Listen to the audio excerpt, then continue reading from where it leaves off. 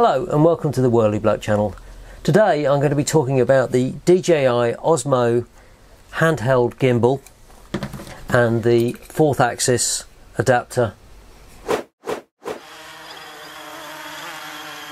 I've been using the Osmo on a number of film projects recently and it really is an awesome piece of kit. It's very light, it just works and you get tremendous results. The only problem comes is when you're walking or running or doing a panning shot, you tend to pick up the up and down movement, which yields in a very strange looking bouncy footage. You can eliminate this to some extent by walking in this strange ninja manner by bending your knees, which is a bit weird. Fortunately, DJI actually have an add-on to eliminate this problem, which is the fourth axis or Z axis stabilizer. It's basically a simple Steadicam mechanism which uses a spring between these two opposite points on this parallelogram to eliminate the bounce. Fitting it is pretty easy. You just unlock the X3 camera fit the fourth axis, clamp it up with this restraining screw onto the rosette and then fix the camera onto the top of the fourth axis adapter. And then when you turn your Osmo on it behaves exactly as it did before with the three axis gimbal.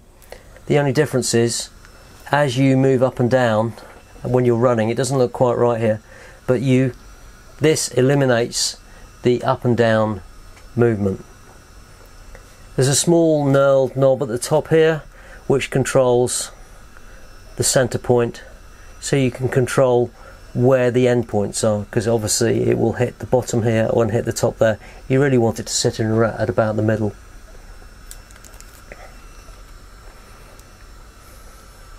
Now, this is great, but sometimes I use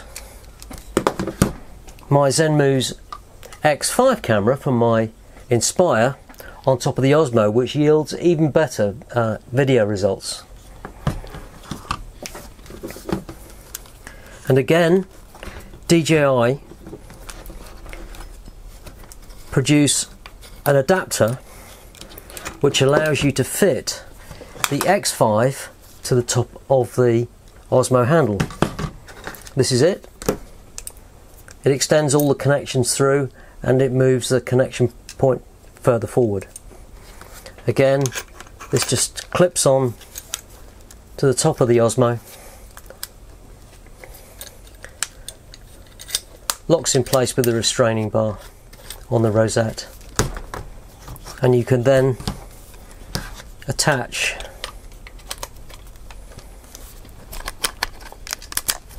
your X5 camera to the Osmo handle which although it's a bit heavier and you don't get as good battery life it does yield even better video results now what will be nice is to be able to use the 4Z or Z axis movement um, stabilizer with the X5 but unfortunately this is designed to work with the weight of the X3 and I'll show you what happens when you try and attach that camera. Just turn this off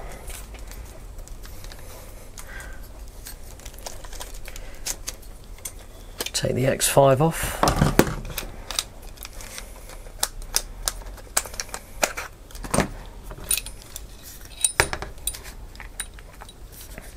I think you can probably see what's going to happen. So we attach the fourth axis to the Osmo as before. We still need to fit the Osmo to X5 adapter to this end of the fourth axis stabilizer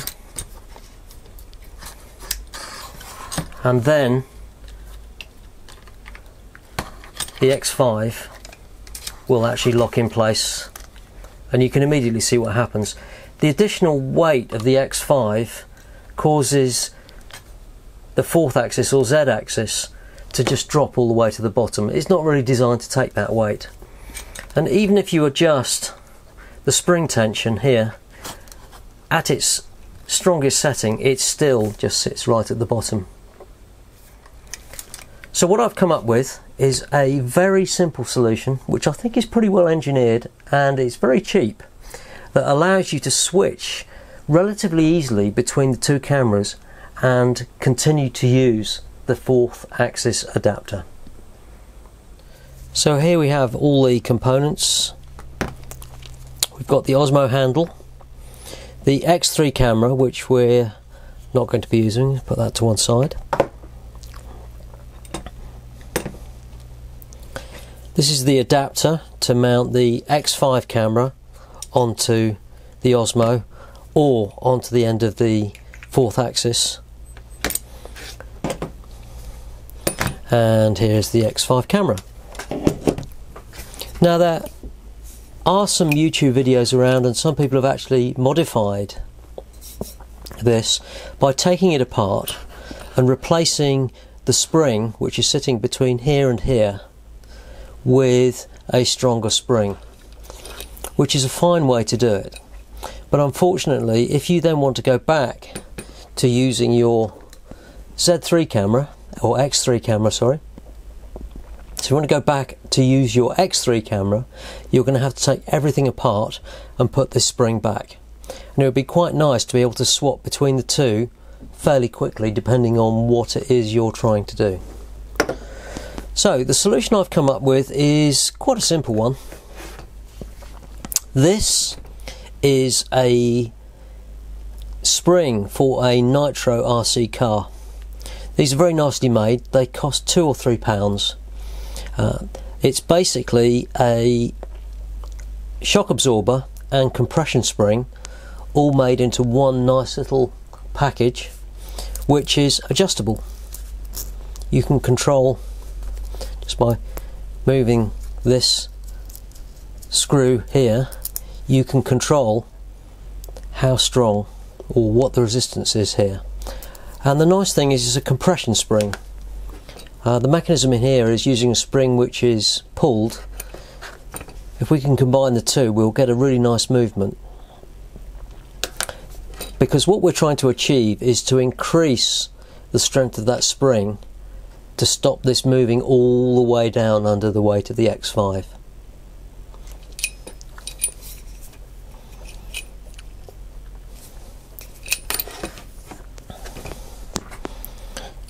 What we're going to do is basically mount this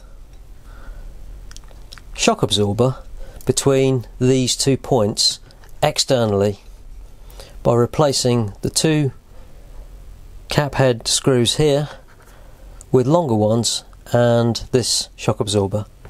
Unfortunately this is a little bit too short and in its fully unsprung position it's 15 millimeters too short this way. So what I've made up is a 3D printed a small extension piece to fit onto the end here which screws in quite simply with an M3 by 10 cap head bolt. I'll leave links in the description below to everything that I used to make this so you can make up your own or I mean there there are loads of these on eBay all over the place. Most radio control shops sell them. But now as we can see that is just slightly longer than the distance between there and there which is where we're uh, going to actually mount this. So all we're going to do is remove these two bolts here and the small bearings and fix this on the outside. So carefully undo these screws. Depending on what model you've got, these these screws may be captive. They may have a washer on the back. But as you can see there's a small bearing here which sits in that hole there. Basically, once you've taken the bolt out, you can just push the bearing back inside. This isn't going to spring apart because you're only taking out two screws, so you don't have to worry about springs suddenly jumping out at you and everything falling apart. Again, those are the two bolts. You need to keep those two bolts because you'll have to put those back in if you put your X3 camera back on.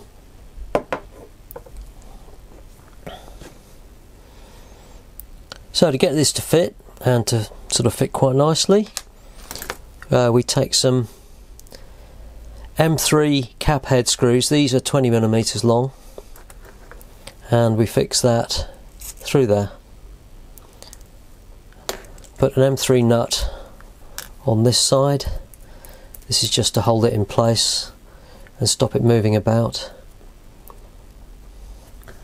Um, if you put another M3 nut on there. This allows you to tighten this down. Make sure you get it lined up onto the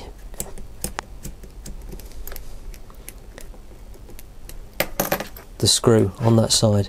As you can see, the 20 millimeter screw just keeps this clear of the body. You don't want to scratch that.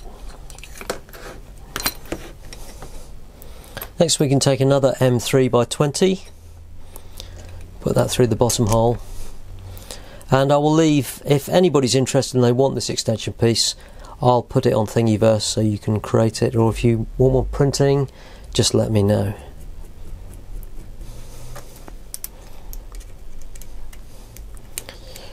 The nice thing about this, these shock absorbers do look very nice. They're very nicely made, all anodized. Again, we do the same trick. We put two nuts on here, one to retain the bolt itself, the other to stop this being screwed in too far into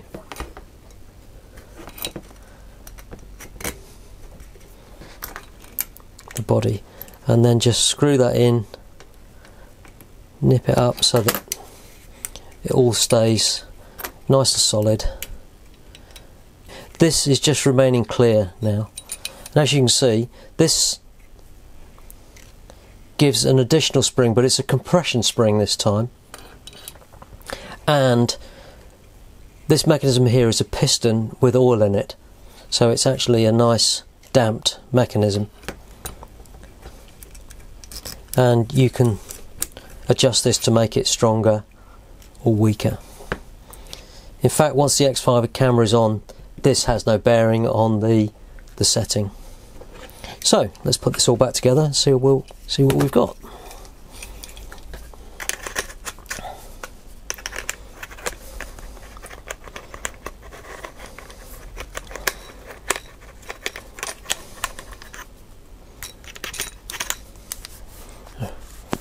It in the locked position. There we go. So that fits onto there.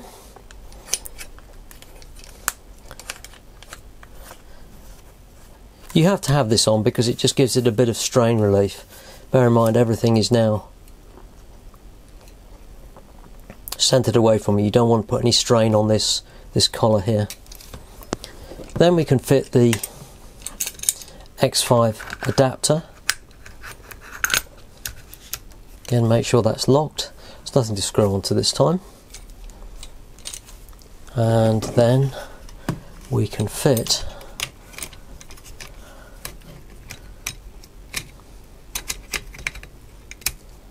the X5 and lock that on. There we go.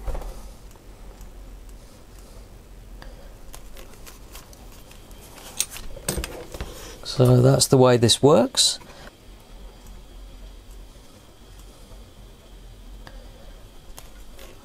So it's balanced beautifully with the additional weight of the X5.